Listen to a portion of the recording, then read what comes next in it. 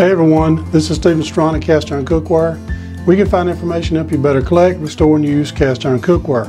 Today I'm going to be doing something I've been wanting to do for a long time, and that is make homemade yeast rolls. And I'm going to make them in my cast iron cookware. And I'll show you how I did it coming right up.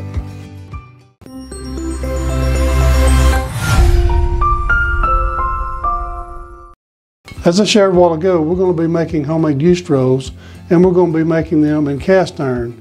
And I'm going to be using my Cracker Barrel mini cake pans. These are not exactly really old vintage, but they are kind of old because they have the older logo. And these here, I believe they were made by Lodge for Cracker Barrel. And they're really nice little mini pans and they're great for muffins. They're also great for pineapple upside down cake because the pineapple slices fit perfectly in each cup. Of course, you can make cornbread and there's all kinds of things you can make in them. But today we're going to be making yeast rolls. And we're going to go ahead and start with our ingredients. Now, I don't have a stand mixer, so I'm going to knead this bread by hand. And uh, I've already had a couple experiences of failures. So if you're planning on doing this recipe and you've never made bread before, I would suggest go ahead and do with a half size recipe.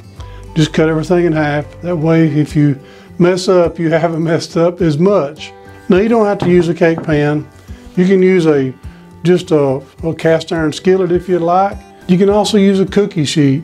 Yeah, of course, it won't be cast iron, but you can also use a cookie sheet or any other kind of sheet that you like to use. But I'm going to use cast iron because I'm kind of partial to it. So let's get started.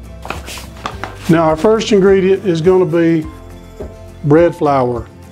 This is not all-purpose flour. It's not self-rising flour, but bread flour. The reason why I'm using that, I've tried the all-purpose and I've tried the self-rising and it's not near as good and I really made some boo-boos with it.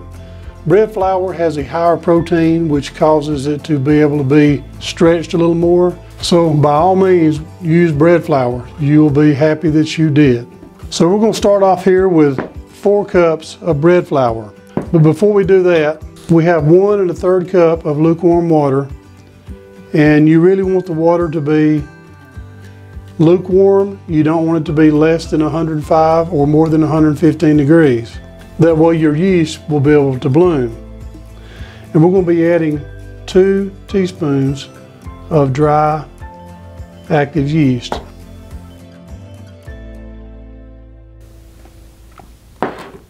You can use the packets.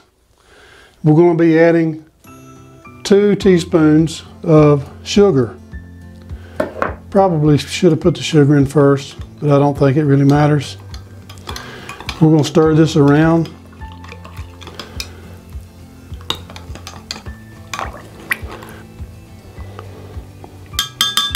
Now we're going to watch it for about seven minutes and uh, wait for it to bloom. Now if your yeast does not bloom, throw it out. Your yeast is old and it's, it's dead. It's not going not going to activate. Okay, we have four cups of bread flour. We're going to be adding one teaspoon of salt. We're going to be adding one third cup of granulated sugar. We're going to be adding two large eggs and five tablespoons of melted butter. And we're just going to combine this.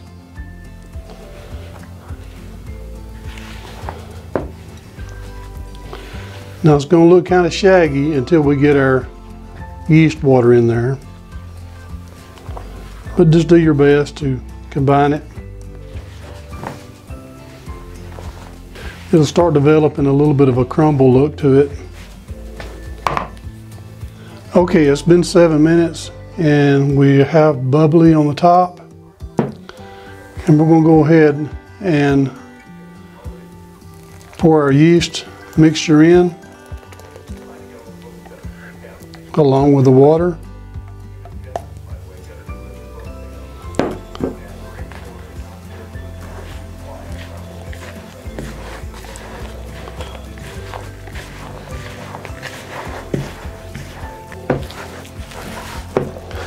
We're just going to try to get the ingredients together. Right now the dough is really, really sticky. And if you tried to work with it now, you'd have to deal with it sticky. So what we're going to do is we're going to cover this up and we're going to come back in about 15 minutes because it'll be a lot easier to work with once we get to that point. Okay, it's been 15 minutes and we're going to go ahead and get our dough out because it's going to be a lot easier to work with at this point.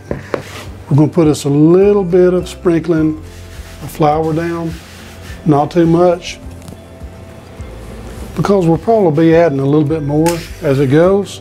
Going to go ahead and turn our dough out onto our table.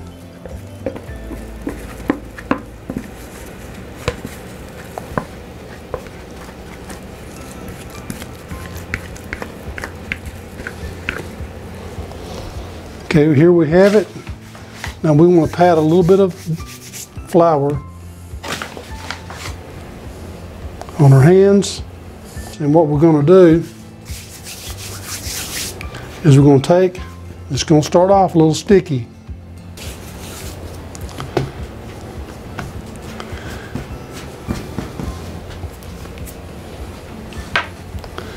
Now I don't have a bench scraper at the moment. So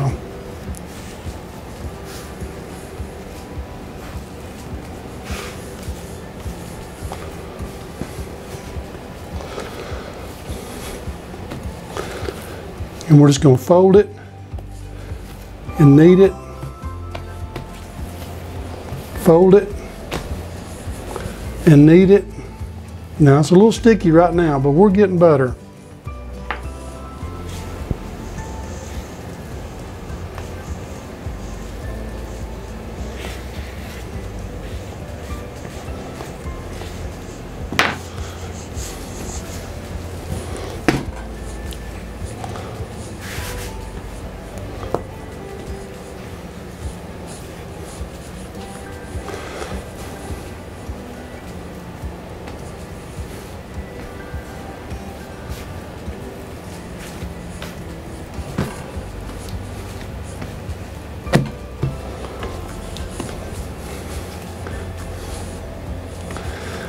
stretch it out and fold it back on itself. Now it's going to be sticky for a little bit, but that'll get better in just a little bit.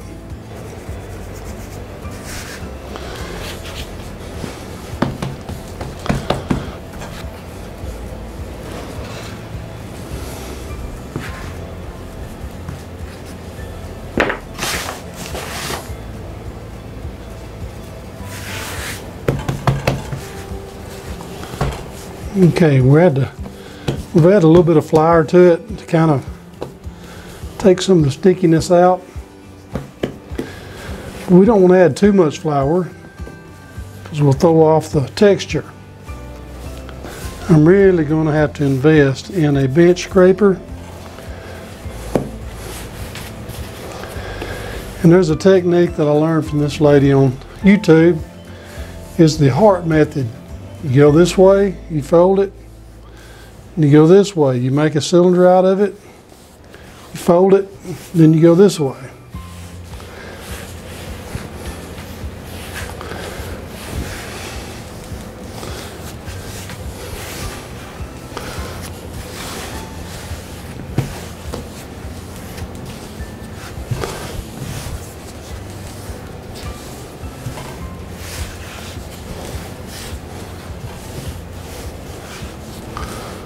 Now it's getting less sticky.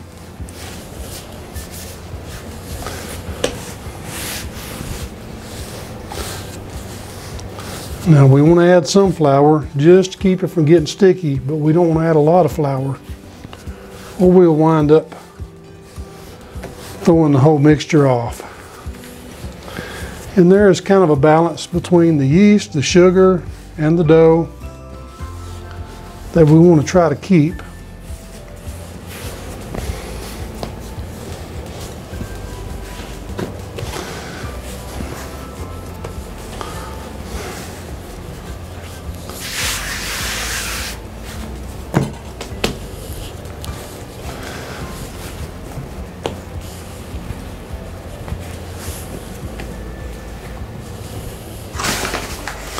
every now and then taking get your little flour on your hands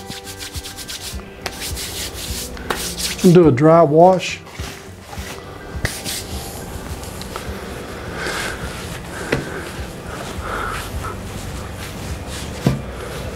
And if you see it starting to get kind of tacky on your table,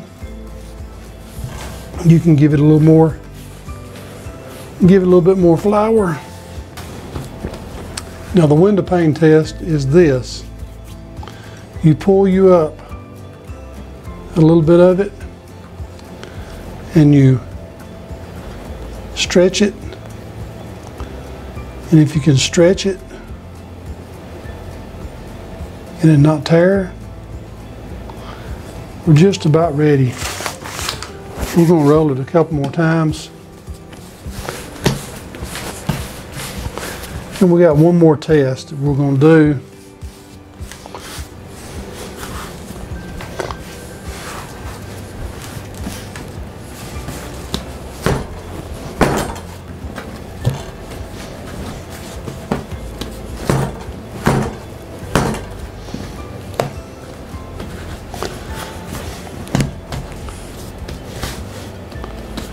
Put a little bit of flour on your finger and it bounces back, you're ready.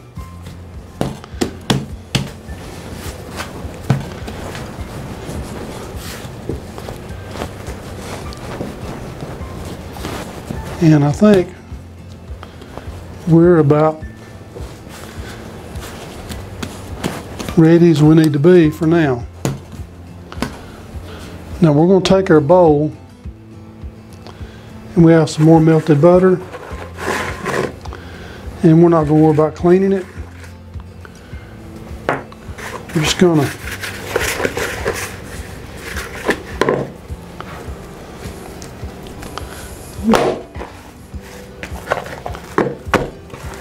Now we want to make sure that our dough is covered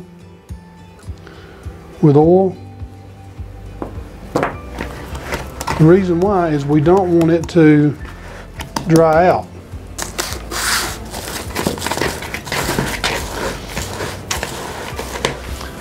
At this point, there's several things you can do. You can turn your oven on for a couple of minutes and then just cut it off so it'll be just kind of lukewarm.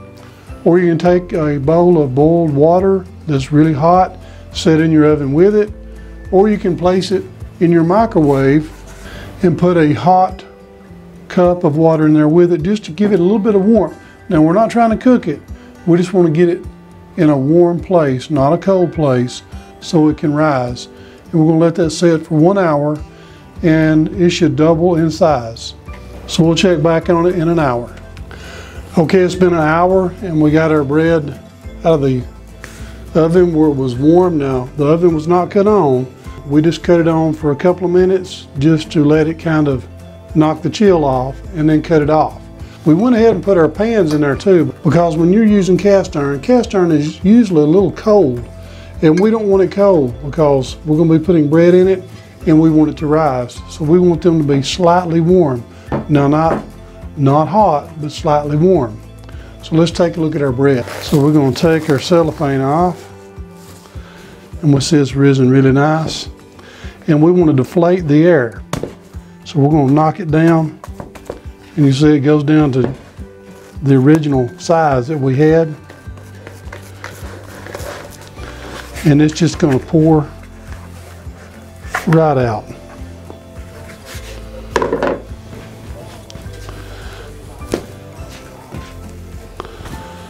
And we want to fold it a couple times just to get the air completely out.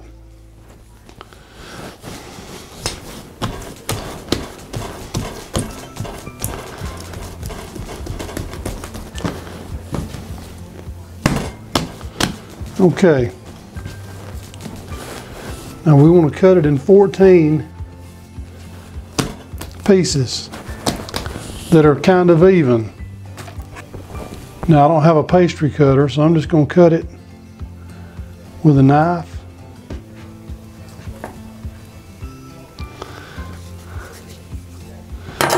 We're going to cut it in half. And we want to get seven pieces out of this. So I'm gonna cut it just a little bit off center. This here will be three pieces and this will be four pieces. Now if you'd like, you can weigh these and get them more accurate. But we're not so much worried about accuracy. And if a piece looks a little bit small like that one does, I'll take some off one of the biggest pieces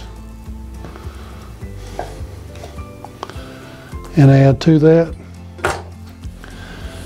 And what we're going to do is we're going to take this, first of all, we're going to flatten it, get all the air out. Can hear it popping, kind of like popping chewing gum. And then we're going to roll it in on itself.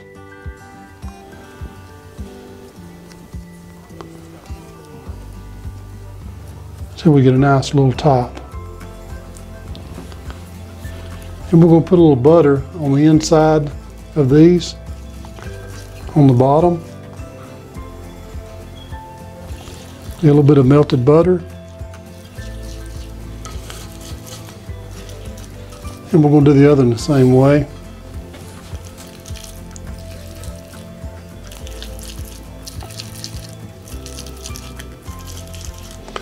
Now you can use oil or you can use oven spray. But I'm going to choose to use butter. And we're going to take and go around it with our hands, kind of chopping it at the bottom as we spin it. And we'll tighten the top up. We'll have a taut surface and then we'll pop this thing and we'll just pop it in our, our pan. We have both of our pans and we're going to put a little bit of butter on these. A little bit of melted butter. Okay, what we're going to do is we're going to cover these up. Now, I don't want them being mashed with cellophane. I'm going to cover these up with a bowl. Okay, we're going to let these stay covered up for one hour until they double in size again. And then we'll put them in the oven. So right before the hour mark gets up, maybe in uh, 50 minutes, we'll go ahead and preheat our oven to 375 degrees Fahrenheit. But we'll come back and check them out in one hour. Okay, it's been an hour, so let's check out our bread and see what it looks like. Let's uncover carefully so we don't knock something crooked and smash our bread. Had a little touching right there, but oh yeah, well, these things look really nice and puffy.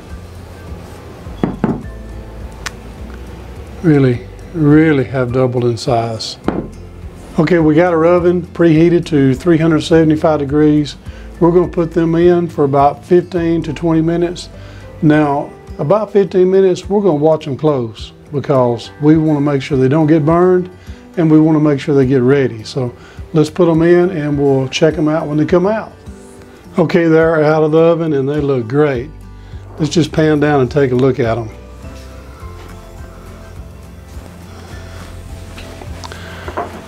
We're going to slather them with some butter.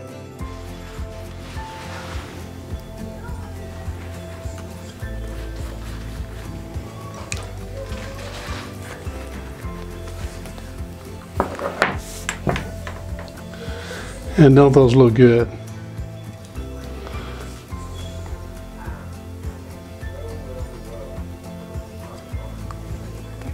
I'm telling you what. They are hot. They are hot.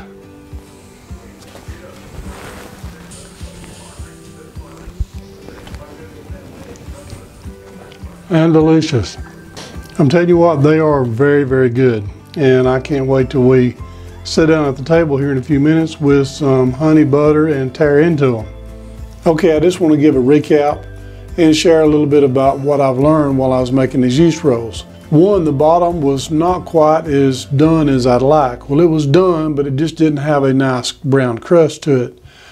Probably enough dough to do three of these instead of two. I would suggest maybe go ahead and make about 21 instead of 14. That'll make them a little bit smaller. That way they'll get done a little bit quicker all the way through and possibly even brown better on the bottom. I think another thing with cast iron, the temperature might have a little bit of a difference. Now if you were putting these on a cookie sheet, 375 would probably be perfect. But I'm thinking that maybe 350 degrees may be even better. So I'm going to keep trying and working on this particular recipe and hopefully I'll get it perfected. I'm sorry I didn't get it perfected before the video, but I'm a cook in training. So, so, but I hope that you've enjoyed it and I hope that you got something out of it. And if you have, please don't forget to subscribe, hit the notification bell, and I promise to keep more of them coming. If you would like, you can also follow us on Facebook, Instagram, and Twitter. Check out Cast Iron Cookware Facebook group. And also, if you would like to support Cast Iron Cookware in a more monetary way, check out Cast Iron Cookware on Patreon. And I just want to say thank you for watching Cast Iron Cookware.